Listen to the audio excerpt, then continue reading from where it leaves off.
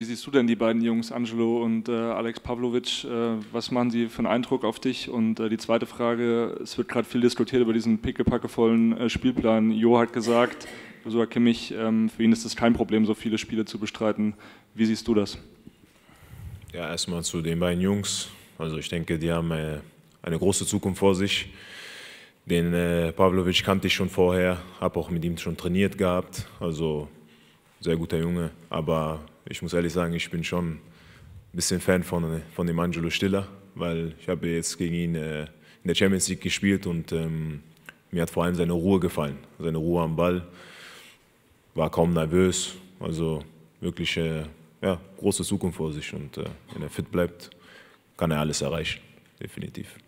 Ja, zum Thema Spielplan. Ich glaube, ja, da wird viel geredet, meiner, meiner Meinung nach ändern tut sich nichts. Deswegen bin ich kein Fan von weiter davon zu reden, etwas, was ich nicht ändern kann. Deswegen einfach, man versucht äh, fit zu bleiben. Das ist mir in den letzten Jahren sehr gut gelungen und deswegen machen wir da weiter.